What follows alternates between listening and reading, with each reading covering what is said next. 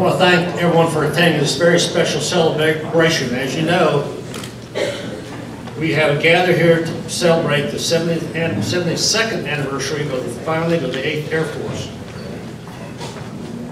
This celebration is part of the year-long observance of the 100-year anniversary of this building. The structure was built in 1913 and was designed by Hiram Witcover, an architect of significant buildings in Savannah, including City Hall, Bull Street Library, and Sacred Heart Church. The Gothic Revival facade features fortress-like elements. The building was built as an armory for the growing Chatham Artillery, who moved its guns from downtown to this location in 1914. On January 28, 1942, the 8th Air Force was founded in this building by a handful of Army Corps personnel. It is in recognition of that gathering that we are here today. At this time, I'd like to introduce Mr. Ed Wexler, who will preside over the traditional 8th Air Force candle lighting ceremony.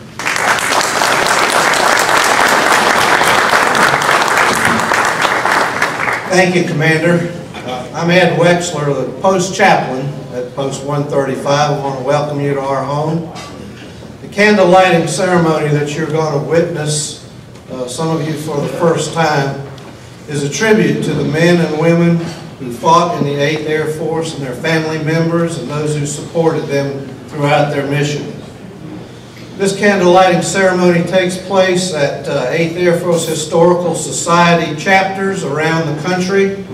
Uh, we have two presidents of the Historical Society with us here tonight.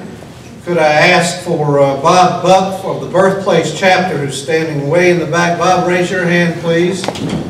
Bob. The Birthplace chapter meets out at the uh, Mighty Eighth Museum uh, once a month. And we also have Travis Reynolds from Atlanta, who is the head of the Georgia chapter. Where is Travis? There's Travis over there by the door.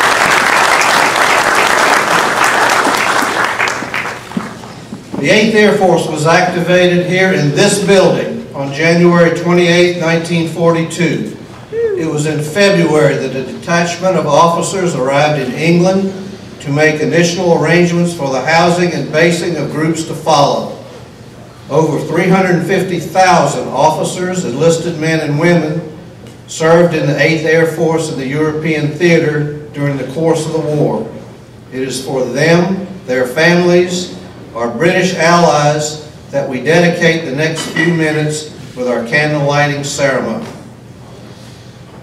Chief Master Sergeant retired Albert McMahon will light the first candle for all ground personnel. Chief McMahon served in World War II as a B-17 ground crew member and later volunteered to become a B-17 tail gunner and ball turret gunner, completing 25 missions. The chief served with the 306 Bomb Group.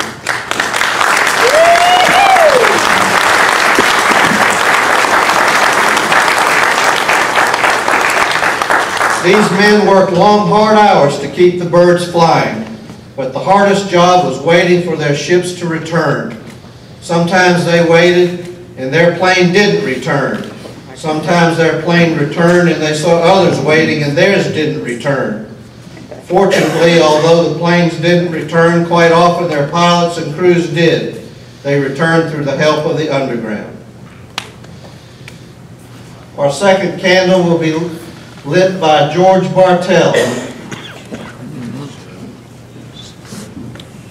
George Bartell served in the 385th Bomb Group as a B-17 radio operator and gunner.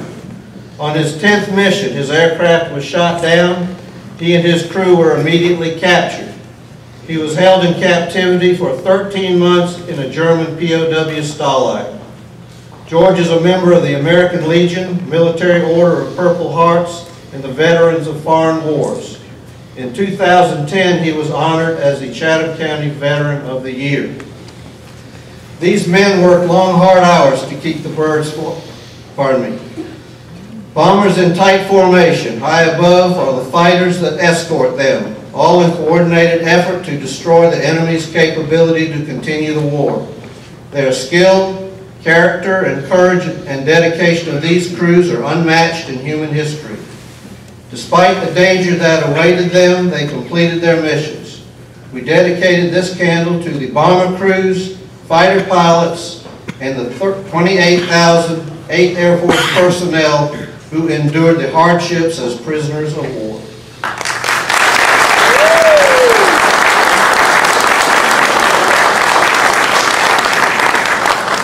Connie Smart will light our third candle for the family members. Connie is past president of Post 135 Ladies Auxiliary. She was married to World War II and Korean War Navy veteran Vernon Smart. It was hard too for wives, mothers, and fathers, brothers and sisters of 8th Air Force personnel.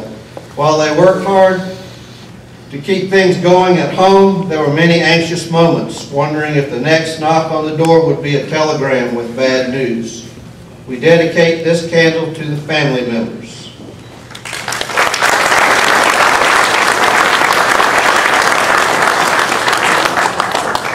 Richard Sadler will light our fourth candle for all our British friends who helped us in so many ways.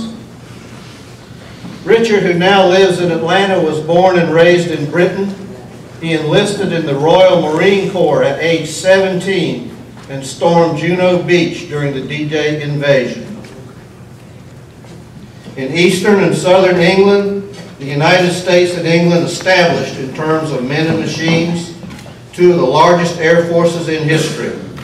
The bloody air battles launched from the European countryside brought appreciation of the young Americans by the indigenous population that transcended the clashes of culture and custom. Indeed, the bonds of goodwill established by GIs and Brits has endured with undiminishing strength for the lifetime of many participants.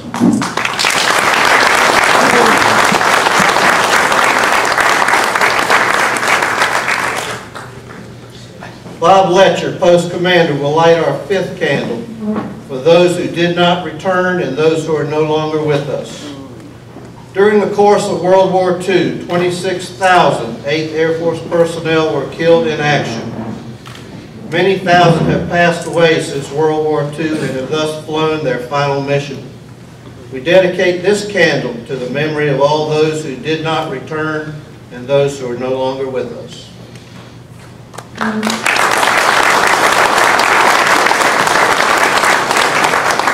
165th Airlift Wing Command Chief, Master Sergeant Roy Patterson will light the sixth candle, honoring all U.S. military personnel currently serving our great nation.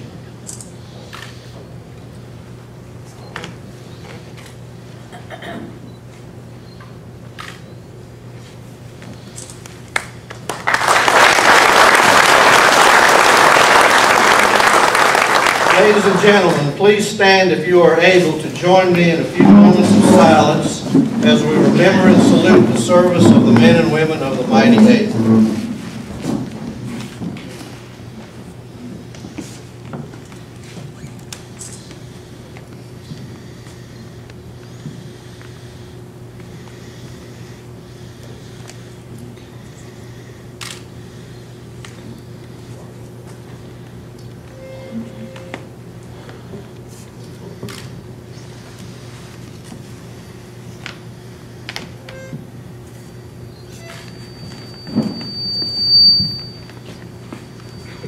Off we go into the wild blue yonder,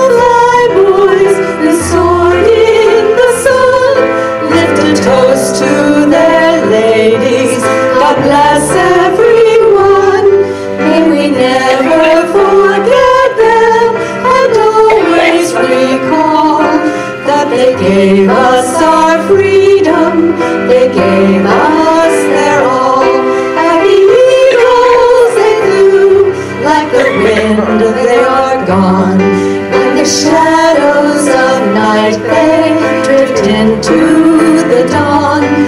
We remember and cherish the stories they tell. Then salute our dear warriors and bid them farewell.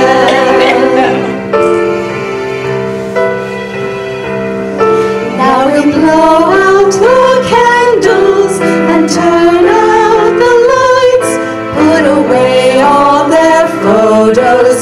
missions and flights. Give their medals to children who've never known strife. Because their peace was paid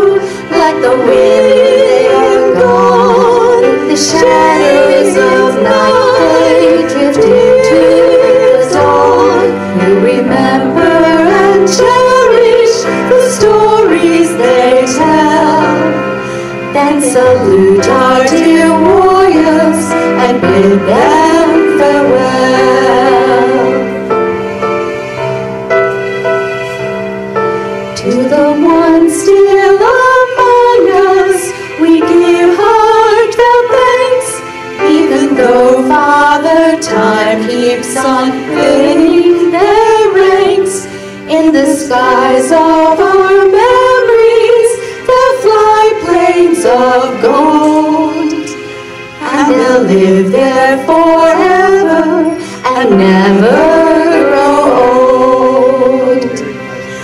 Like the eagles they fly, like the wind you grow strong. In our hearts, in our hearts you'll inspire our song. We'll remember and cherish the stories you tell. And embrace you, dear warriors, and bid you farewell.